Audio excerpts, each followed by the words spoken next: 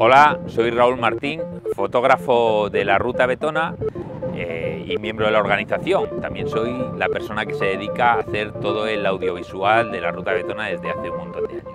Pues este año mi sorpresa ha sido cuando me han anunciado que teníamos a Mercedes como patrocinador oficial y que este año los coches iban a ser Mercedes. O sea que te da un alegrón, ¿no?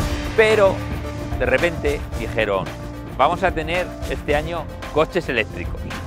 Y dije, yo que hago un montón de kilómetros al año y soy de diésel de toda la vida, dije, ¿un coche eléctrico para la ruta betona? No sé yo si esto nos va a aguantar. Pues ya tenemos este coche, eh, gracias a Darsa, concesionario oficial Mercedes en, Salamanca, tenemos este coche totalmente eléctrico que hace casi 500 kilómetros de, de autonomía. En un principio era un poco reacio, como os he dicho, pero ya llevo 24 horas con el coche y estoy flipando. Flipando porque los primeros 100 kilómetros los hemos hecho con 2 euros. 2 euros. Y no voy a vender maravillas de Mercedes porque a mí no me paga Mercedes. Me lo están dejando para eh, probar caminos y para ver todos los accesos que podemos hacer con estos coches en, en la ruta betona. ¿Qué quiero decir? Me está sorprendiendo un montón el coche y vais a ver imágenes de lo que vamos a recorrer. No le vamos a dar mucha caña porque tampoco es un coche todo terreno, todo terreno para meternos por, por algunos tramos que son complicados, pero es un sub muy alto que le podemos utilizar para todo tipo de, de caminos. Y una de las cosas que más me gusta, al ser totalmente eléctrico, es súper silencioso. O sea, no te oye nada. Los animales, cuando vamos por las carreteras, es que se cruzan porque no han sentido el coche. Y lo mejor, es ecológico. Cero emisiones de CO2. ¿Qué mejor coche que este para la ruta betona? Que somos naturaleza, que somos paisaje, que somos ecología y que somos deporte. Entonces, este coche estoy encantado, vamos a seguir probándolo. Eh, Anoche hice unas fotos espectaculares, os las pongo, porque una estrella de Mercedes no puede tener mejor foto que la, una noche estrellada en los caminos de la ruta betona.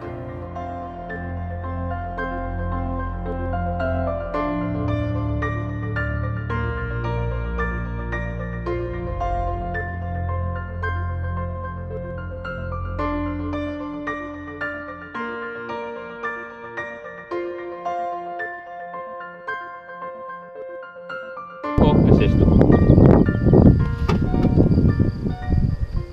Ahora tenía una mano libre, pero hay veces que llevo un montón de mochilas y de cosas que no me permiten dejar el equipo como a mí me gustara.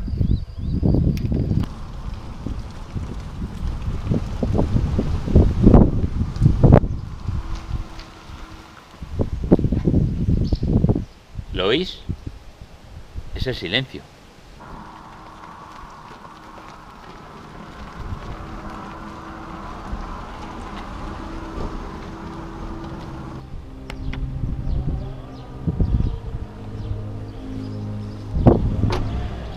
La forma de conducir cambia totalmente. Eh, no se conduce tanto con freno y acelerador, sino se conduce con las levas del volante. Lo que hacen estas levas es que, ah, creo, ¿eh? no soy experto en la mecánica, que no me he leído nada del coche, mal por mi parte, pero creo que no tiene caja de cambios, entonces el motor eléctrico lo que hace es que tiene como una especie de retenciones eh, que de una forma retiene más y de otra deja que el coche eh, avance más sin, sin, retener. Entonces, lo que te permite eh, con las levas es, vas en, la directa, que es como en, un cambio automático, ¿no? entonces, cuando llegas a las curvas, pues le das a la leva izquierda y hace que retenga el coche. ¿Y qué es lo que, qué es lo que hace? Pues que retiene pero recarga. ¿Qué consigues? Que cuando vas por carreteras reviradas o carreteras de puertos, pues que al retener estás recargando el propio coche Y así no necesitas depender tanto de conectarte a la electricidad. Es un punto esto, es un punto porque, bueno, pues ya llevamos recorridos 200 kilómetros y cuando, por ejemplo, ahora que me quedan 252 kilómetros y la sensación del coche dentro es pues como, no sé, como entre una nave espacial y, un, Fórmula 1. Silencioso, silencioso como las películas futuristas y, una sensación de, potencia cuando pisas el acelerador que es una, que es una pasada. Y, para las carreteras de curvas de montaña es una sensación súper divertida eh, y reteniendo como te frena el coche. Yo llevo ya lo mismo 6 o 7 kilómetros y todavía no he tocado el freno. Eh, una de las cosas y los peligros que yo creo que tienen todos los coches eléctricos y algunos híbridos es lo que me acaba de pasar ahora. Me encuentro con una señora paseando por la carretera y la señora se asusta porque, porque no me ha sentido. Pero bueno, esto con el tiempo yo creo que, que lo, lo iremos asimilando y nos iremos dando cuenta que, que los vehículos ya son silenciosos. Y voy a seguir disfrutando.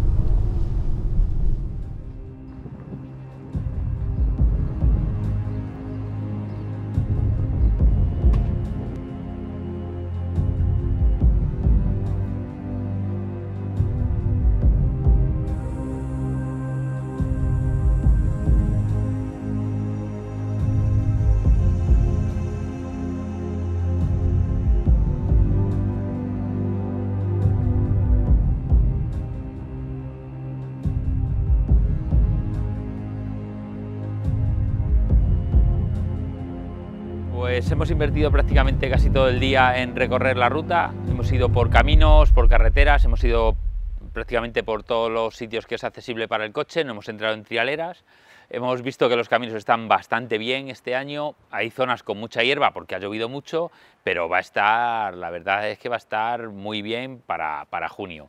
¿Qué es lo que os comento? Que seguiremos hablando de este coche, seguiremos hablando de la ruta betona y los que estáis ahí dudando de me apunto este año, no me apunto, apuntaros, se están acabando las plazas, en bicicletas ya no tenemos nada más, daros prisa, que lo mismo quedáis fuera. Un saludo.